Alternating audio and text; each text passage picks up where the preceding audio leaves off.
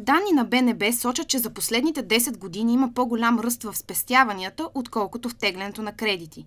С увеличаването на депозитите в банките, лихвите по влоговете падат драстично. В края на 2008 година средният доход от влог е бил малко над 8%, през 2015 година 1,5%, а през 2018 0,3%. В период на криза хората се настройват спестовно и почват да трупат депозити. Затова видяхме това голямо нарастване на депозити в периода 2009 до момента. В последната година потребителското кредитиране изпревари ипотечното.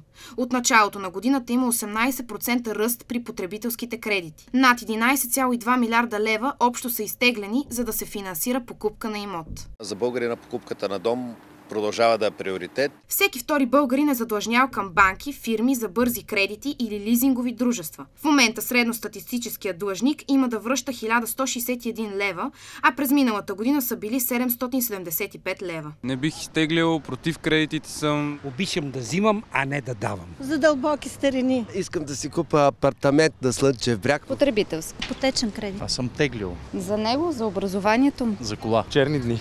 Данните на Централната банка показват, че от 2008 година до сега спестяванията в банките растат с почти еднакво темпо, средно с около 3 милиарда лева на година.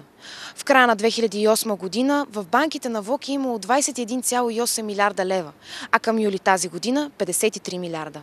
През последните години се увеличи и бройката на милионерите в България. Това са хората, които имат спестявания в банките над 1 милион лева. През 2008 година те са били само 98, а днес надвишават 900.